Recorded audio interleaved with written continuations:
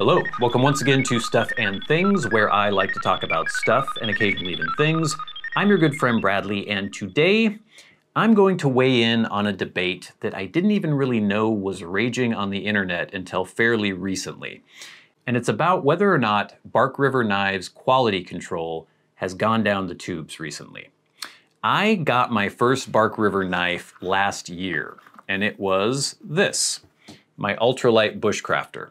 A lovely little knife. I did a review of this video if you would like to check that out. And in the review, I was quite pleased with this knife. Since then, I have gotten two more Bark Rivers. I have here an Aurora Scandi in CPM 3V. Beautiful knife as well. And then here, I have a mini gunny in MagnaCut. So I have three Bark River knives. And it was only recently that I was looking on forums and finding a lot of dissatisfaction with Bark River quality control and a lot of dissatisfaction with their customer service. And when you're looking at anything on the internet, you always have to bear in mind that the most minor thing can get really, really magnified because you know, you have thousands and thousands of people who might be customers and very few might be angry or disappointed or unhappy, but those voices can become magnified when they are put out online or on forums. So you never really know exactly what to think.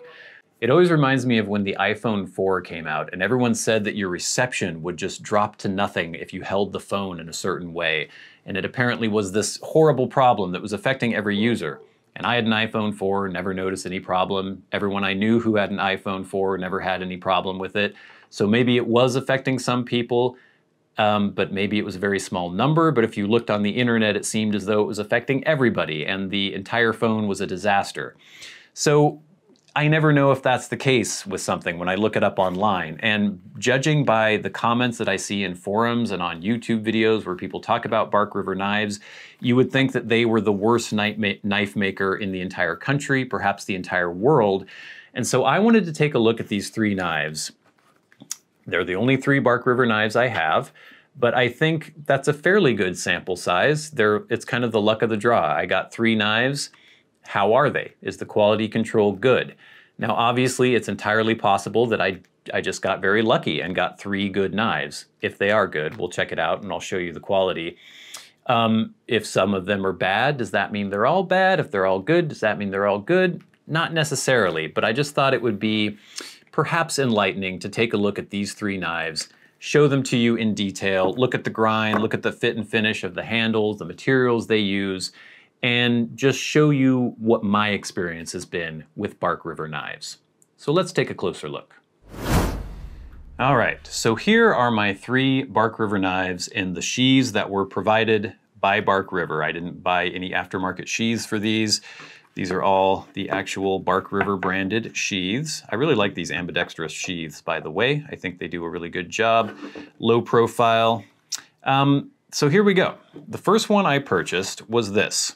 The Ultralite Bushcrafter. This is in CPM 3V. And this was one that was just online at, I believe this was at DLT when I got it. And it's a desert ironwood handle. Has just normal pins, nothing fancy other than the fact that it has black liners and that desert ironwood, which I think is just gorgeous. I think it's my favorite handle material. I think it just looks beautiful. And this knife is flawless. You may notice that there are some kind of swirls on the blade. That is where I have done my own sharpening after the fact. This came pretty damn sharp. It would shave right out of the box. Um, I didn't sharpen it for a while. I was just kind of stropping it if it ever needed any touch up. And then I finally did a sharpening myself after a while. But I love this knife. I've done a full review of this. If you haven't seen that yet, you should check that out. But it's just so nice. It's very petite, fairly thin stock, so it's very light. Um, still fits my hand. I have very big hands and I can get four fingers on this grip. It feels great. It's nice for just light little tasks. It's something that I like to carry with me. This is kind of a daily carry knife and it's small enough that it's not obtrusive. Like I said, really like the sheath. And if you just look at the fit and finish here, it's flawless There is not a single thing wrong with this knife. Where it mates up with the liners and the tang, it's completely smooth. No rough spots when they sanded down the handle. The grind is nice and even. I'm not sure how well the camera will pick that up, but you can see it has a nice even grind on either side. And I can't see any issue with this knife whatsoever. Little caveat there though. This is the second one I got. The first one that I got sent by DLT had a little divot in the spine. There was just a little, it just wasn't completely sharp and even on the spine. I'll insert a picture here it's the picture that I sent to DLT when I said I wanted to return it, and you'll be able to see what I meant. Nothing major, but it was enough that I thought, eh, I think I'll, I'll return this and get a different knife. And so I contacted DLT, and they sent me this one. And this one is absolutely flawless. So, if we were just going by this experience, out of two Bark River knives, one was flawless and one had a slight minor defect.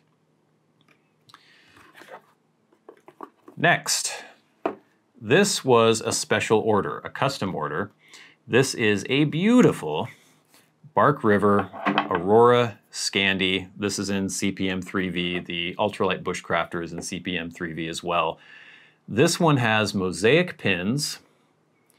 It has a burgundy canvas micarta handle, which it's really hard to capture on camera. I'm not even sure how this is going to show up. Sometimes it looks like a deep purple, sometimes it looks almost black, sometimes it looks almost rusty red. It's really fascinating how it changes in color, but it's gorgeous. And with the mosaic pins, you have that kind of brass surround, and then they did that with the lanyard hole as well. And once again, I have not seen a single flaw with this knife. You can look there at the grind. Very even on either side. Sometimes you'll notice that maybe the grind is not super even. Um, the blade geometry comes out maybe more on one side than the other. This has no issues that way. The spine is nice and straight. I've scraped a fire steel on it a couple times now, so there might be some divots there. But it's just a gorgeous knife. It also came nice and sharp. I didn't notice any secondary bevel or edge on there. It just seemed like a really nice Scandi grind. Um, it's flawless. There's nothing wrong with this knife whatsoever. Now, this was a custom order, so maybe they take a little bit more care on these. I'm not sure, but I just love this knife. I love the weight. I love the feel of it. I love the handle geometry and the blade. It's just a fantastic knife and the sheath as well. I really enjoy this sheath. I think it fits the knife really well. I like the fact that they have these ambidextrous options. You could do scout carry if you wanted on this knife. Um, absolutely no complaints whatsoever about this Aurora Scandi in CPM 3V. I think it is gorgeous. Maybe I should keep these out on their sheaths so you can see them as we're talking about the knives. The third knife, this is one I just got, and I had actually kind of forgotten that I had ordered this. I think it was when I was looking for a small fixed blade that I could everyday carry. I ordered this, and this is a mini gunny.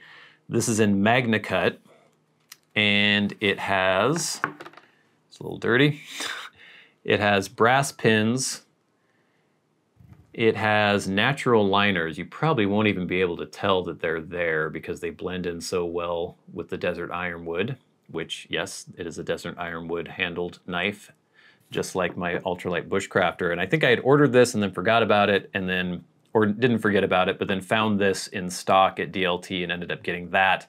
And then this was much, much later, I think over a year later that this one was available. And I realized, oh, I kind of forgot that I had ordered that thing. I guess I'll get it.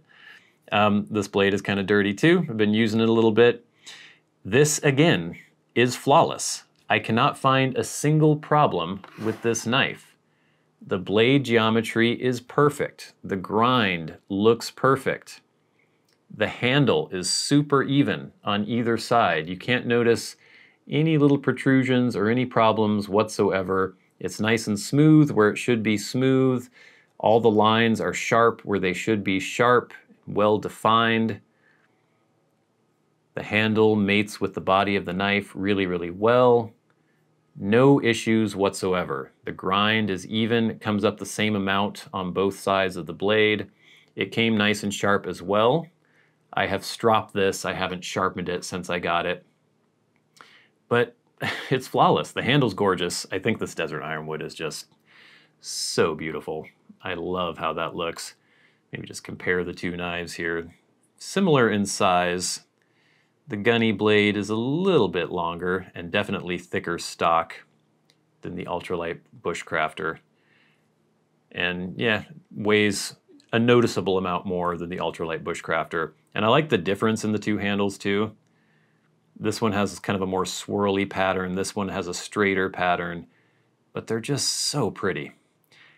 I can find nothing wrong with these knives.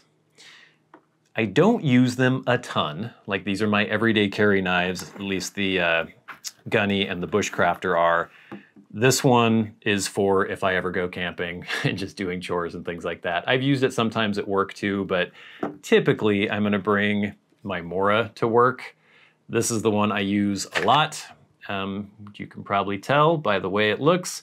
I do concrete work, and this is the knife that I typically carry with me. I don't want to destroy mostly the sheaths of these knives if I took them to work.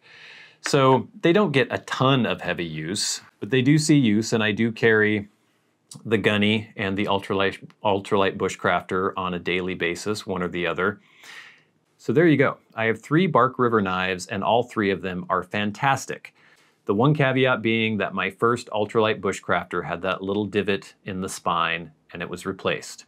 I didn't deal with Bark River directly with that. I dealt with DLT and they, no questions asked, just sent me another knife. I don't know. You can draw your own conclusions, I guess, but I think that's a pretty good track record, at least for me. Obviously, this doesn't mean that people haven't had bad experiences, but I have no issue telling people that if they buy a Bark River knife, they'll probably be satisfied. My older brother has a Bark River that he bought. He thinks it's great, he has no issues with it. Most people I know, I don't know a ton of people with Bark River knives, but those I do have had no issues either. So maybe the issues online have been exaggerated, maybe not, I'm not sure. But if you were to read a forum on knives, you would think that 50 to 60% of the Bark Rivers out there are horrible. And I think that the ones I have are some of the most beautiful knives I have ever seen. So there you go, gang. My three Bark River knives. The Ultralite Bushcrafter, the Aurora Scandi, and the Mini Gunny. They're all fantastic, all three of them. I did have that first ultralite bushcrafter. That wasn't bad, but it did have that little little dent on the spine that I didn't like. I just returned it to the retailer from which I got it and got this one as a replacement. And this one is, is gorgeous. It's beautiful. This is gorgeous. It's beautiful. This is gorgeous. It's beautiful. All the quality control, all the fit and finish.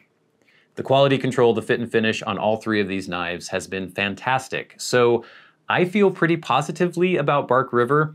I haven't had to deal directly with them for any customer service issues, so I can't speak to that. But as far as how confident I am in purchasing a Bark River knife sight unseen, I'm pretty confident. Two of these were custom orders, the Mini Gunny and the Aurora Scandi. Maybe they take more care on custom orders, I don't know, but this wasn't a custom order. This is just one that was replaced for me by DLT. Um, so that's where I am with it. I think they're good knives. I think they're some of the most beautiful knives I've ever had. I can't say that that invalidates people who have had bad experiences. I can't say that I might never have a bad experience, but I feel pretty confident in recommending Bark River knives to other people. And I don't think the odds are that you will have a bad experience if you order a Bark River knife. At least I hope so. That's been my experience so far. So thank you so much for watching this look at these three Bark River knives and hopefully that will help you make a decision if you are contemplating buying a Bark River knife in the future. I've been your good friend Bradley. You've been the audience. This has been Stuff and Things. I'll see you later.